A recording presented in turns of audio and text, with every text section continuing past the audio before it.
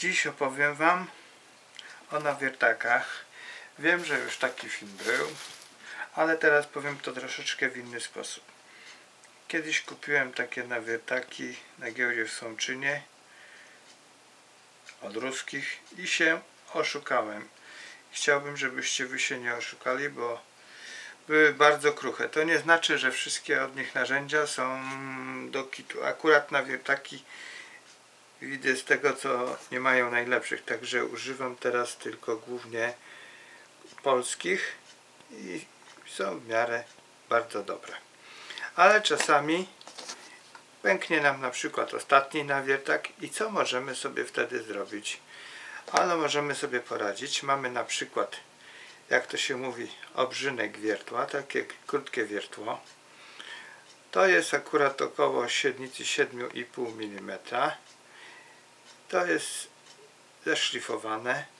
Łapiemy go sobie tutaj krótko w uchwycie, jak najkrócej, żeby jak najmniej wystawało. Wysuwamy jak najkrócej na przykład gilzę konika i wtedy możemy sobie za pomocą tak krótko wystawionego wiertła możemy sobie zrobić także punkt do wiercenia.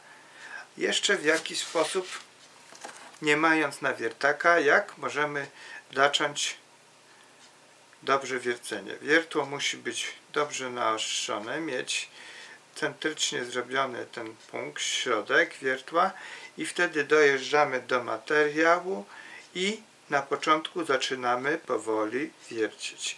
I później jak już widzimy, że wiertło nam nic nie drży na boki, to wtedy już normalnie możemy sobie też trochę szybciej wiercić, oczywiście dobrze chłodząc wiertło i materiał obrabiany. Także nie mając czasem nawiertaka możemy także dobrze wykonać jakiś otwór.